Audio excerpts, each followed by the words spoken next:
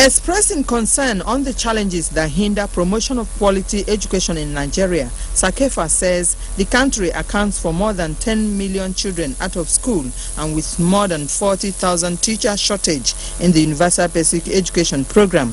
And to worsen the situation, conflict and terrorism have negatively impacted on access and learning achievements in the north, resulting to teachers' inability to deliver in classrooms. Improved working condition of teachers in order to attract and retain more qualified teachers in our public schools.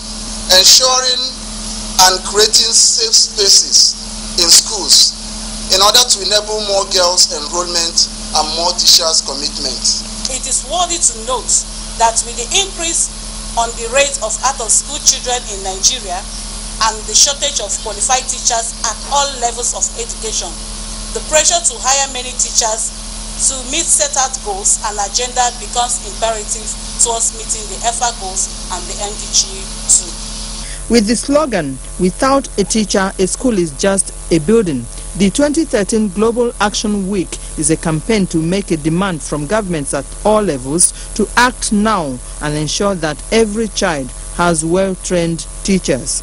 CSACEFA is a coalition of 40 education NGOs with more than 600 members across the federation.